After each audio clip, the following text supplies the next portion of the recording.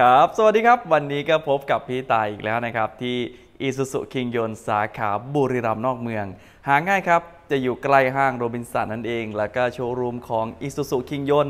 จะอยู่ติดถนนใหญ่ด้วย โดยถนนหลักที่พี่ตายอยู่ จะเป็นถนนเส้น บุรีรัมย์นางรอง วันนี้นะครับวันที่เราพบกันก็จะตรงกับวันที่ 1 กันยาเออไม่ใช่วันที่ 1 กันยาวันที่ 1 ตุลาคม พศ 2564 นั่นเองก็ ก้าวข้ามมาเดือนใหม่แล้วนะครับ อะไรไม่ดีก็ทิ้งไว้ข้างหลัง แล้วก็เรามาเริ่มงวดใหม่ด้วยกันงวดนี้ วันที่ 1 แล้วนะครับ 1 ตุลาคม 2564 หวยออกแล้วก็วันนี้เนาะเออเออแต่เมื่อวานเมื่อวานพี่ต่ายก็ยุ่งมากเลยนะจนว่าลืมอะไรให้ลืมอัปเพจปกติพี่ต่ายจะลงรูปทุกวัน คือรูปสวยไม่สวยหรือคอนเทนต์อะไรไม่ดีเท่าคนอื่นเราก็ลงทุกวันอาศัยว่าเฮ้ยอย่าให้เพจเรามันเงียบอะไรอย่างเงี้ยให้มันมีความเคลื่อนไหวตลอด อันนี้คือความคิดนะ ไม่มีหมัดเด็ดก็เย็บๆไปก่อนอะไรอย่างเงี้ย แต่ว่าเอาไม่เห็นมาช้าเอาลืมลงเมื่อวานก็ลงไปแล้วนะครับ แล้วก็วันนี้นะครับพี่ต่ายก็จะมีส่ง FC ที่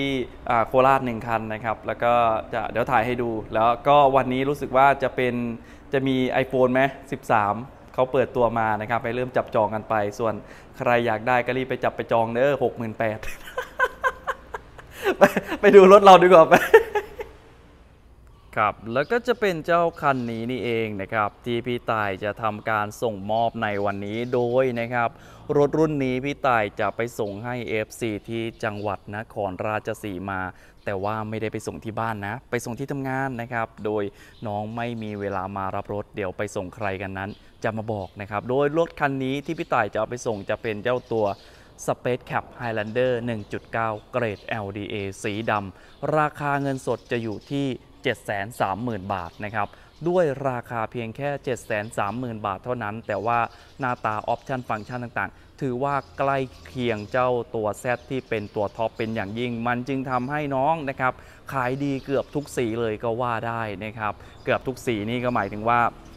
มันจะมีบางสีขายได้เยอะอะไรบางสีน้อยลงมาแต่ก็ไม่น้อยต่างกันมากนะครับเอาเราไปดูกันว่าจริงไหมเหตุผลที่เขาขายดีนะครับอันดับแรกเลย หน้าตานะครับของน้องก็จะมาพร้อมกับ เจ้ากระจังหน้าที่มีความหรูหราเป็นอย่างมากโครเมียม 2 ชั้นนะครับโลโก้อิซูซุเป็นสีโครเมียมเช่นเดียวกัน แล้วก็เขาจะมีตะแกรงที่เป็นซี่สีดำเงานะครับ เพิ่มอารมณ์ความสปอร์ตให้กับตัวรถเข้าไปอีก เจ้าตัวเกรด LDA คันนี้น้องไม่มีชุดสเกิร์ตมาให้ แต่ว่าสามารถเอาของเจ้าตัว X Series ยกสูงมาใส่ได้นะครับ อุปกรณ์อีกตัวหนึ่งนะครับ ที่พี่ต่ายชอบมาก ๆ ก็คือเจ้าไฟหน้าของเขา เฮ้ย ถึงเป็น LDA ก็เถอะราคาแค่ 7 3 0 0 0แต่ไฟหน้านะครับ มาพร้อมกับชุดไฟหน้าแบบโปรเจคเตอร์ปรับระดับไฟหน้าได้อีกถึง 4 ระดับนั่นเองหลอดที่ใช้นะครับเป็นหลอด LED ให้แสงสว่างที่ชัดเจนประกอบกับ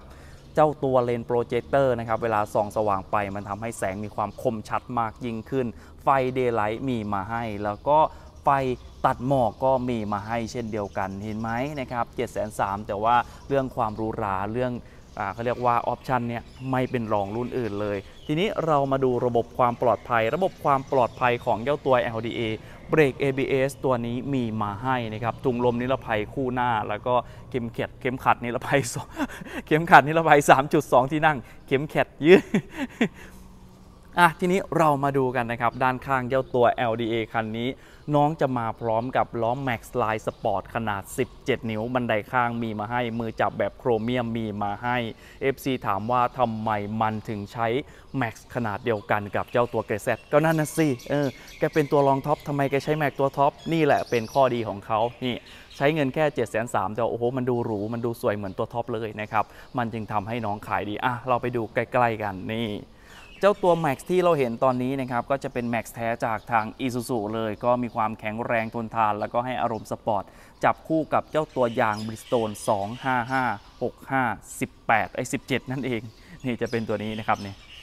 255 65 17 นะครับเนี่ย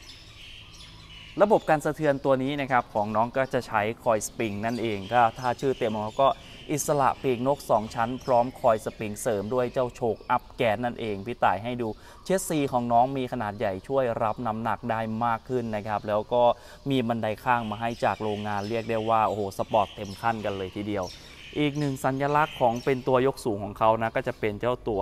สัญลักษณ์ Highlander เป็นโครเมียมแบบนี้เลย กระจกมองข้างนะครับมีไฟเลี้ยวแบบ LED ให้ด้วย แล้วก็ด้านบนจะเป็นสีเดียวกับตัวรถใบปัดน้ำฝนเนี่ยเราสามารถยกได้แบบนี้นะครับ การใช้งานไม่ยุ่งยากเวลาที่เราจะทำความสะอาดกระจกบังลมหน้า คันนี้พี่ต่ายติดฟิล์มให้ลูกค้าเรียบร้อยแล้ว ด้านหน้าพี่ต่ายจะติด 60 ด้านข้างติด 80 กันสาดเรียบร้อยนะครับ มือจับเรียบร้อยนี่ ตัวของน้องนะครับเขาจะมาพร้อมกับ มือจับประตูแบบโครเมียมนะครับ น้องไม่มีสัญญาณการขโมยมาให้นะ อันนี้ก็ต้องแจ้งไว้ก่อนนะครับอันไหนมีไม่มีแล้วก็ ที่มีไปให้นะครับทุกคันที่ออกพี่ต่ายก็จะเป็นสติกเกอร์ 3M นะครับสติกเกอร์มหามงคล มีแล้วไม่จนมีแล้วรวย อันนี้ก็จะเป็นไล่ฝ้ากระจกด้านหลังเกรด LDA มีมาให้เหมือนกันไฟเบรกดวงที่ 3 ขาดไม่ได้นี่ สังเกตดูไหมเรื่องความอ,อุปกรณ์เรื่องความปลอดภัย i s u z u นี่เรียกว่าไม่กั๊กกันเลยทีเดียวนะครับเพื่อความปลอดภัยของคุณลูกค้านั่นเอง ทีนี้เรามาดูเจ้าตัวล้อหลังกันบ้างเอ๊ะ มันต่างกันตรงไหน มันไม่ต่างกันครับ มันเหมือนกัน เพราะว่ามันไม่ใช่แม็กซิ่งจาก มันไม่ใช่แม็กซิ่งมันเป็นแม็กจากโรงงาน มันจะให้ดูตัวนี้นิดนึงเนี่ยการสะเทือนด้านหลังของน้องเนี่ยก็จะเป็นเจ้าตัวแหนบนะครับตัวนี้ถึงเป็นแคปก็แต่ว่าแหนบเขาก็จะมีเพียงแค่ 3 แผ่นนะด้านบนยาวสุดให้ความนิ่มนวลนะครับส่วนด้านล่างก็จะเป็นแหนบบรรทุกมาพร้อมกับเจ้าโชคอัพแกนนั่นเองยางอะไรก็จะเป็น 17 เหมือนกันนะครับเป็นเจ้าตัวยางบริสโตนที่เราเห็นตรงนี้ไม่ใช่ตัวถังนะเป็นกันชนท้ายของน้องนะครับ เกรด LDA คันนี้น้องจะมาพร้อมกับกันชนท้ายแบบ built-in แบบนี้เลยนะครับ ออกแบบให้เป็นหนึ่งเดียวกับตัวรถ แล้วก็มีถึง 2 step เลยทีเดียวช่วยให้เราขึ้นลนรถได้ง่ายขึ้นลงนะไม่ใช่ขึ้นลนนะครับมือจับของน้องก็จะเป็นแบบโครเมียมมือเปิดท้ายเนี่ยตัวนี้มาพร้อมกล้องมองหลังนะครับ ช่วยให้เรามีความปลอดภัยมากยิ่งขึ้นเวลาที่ถอยจอด อะยกกล้องขึ้นสูงอีกนิดนึงนี่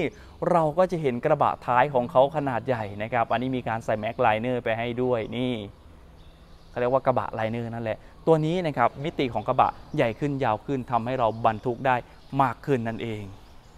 อะเป็นยังไงกันบ้างนะครับ ก็เดี๋ยวถ้ามีสีอื่นพี่ต่ายจะถ่ายให้ดูเดี๋ยวแล้วก็ระหว่างช่วงเดินทางไปส่งมอบให้กับ FC พี่ต่ายก็จะถ่ายให้ดูเช่นเดียวกันนะครับอะโอเค ไปดูด้านในแล้วก็เครื่องกันว่าเรียบร้อยหรือยัง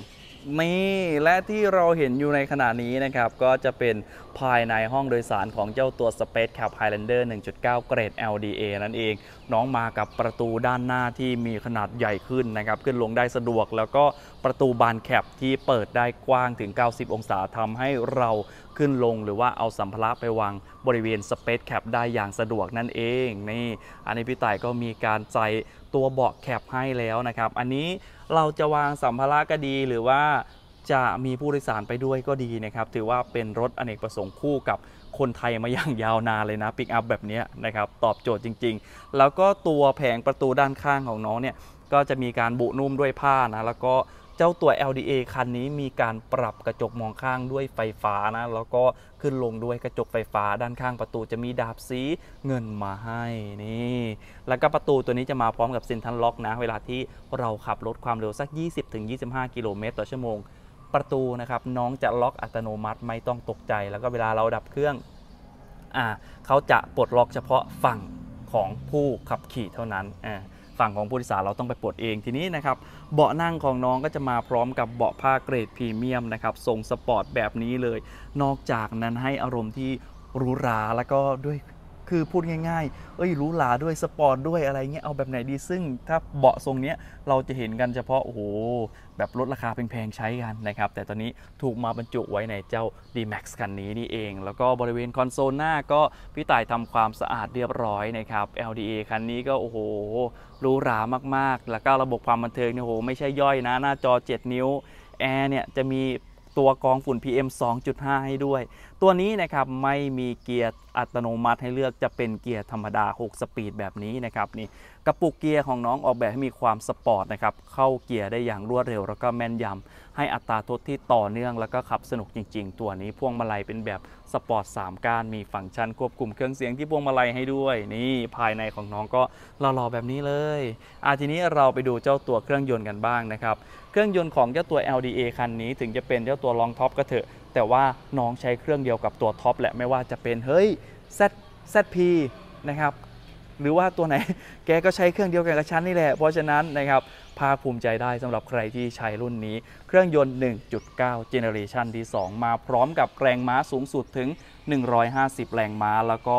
แรงบิดสูงสุดอยู่ที่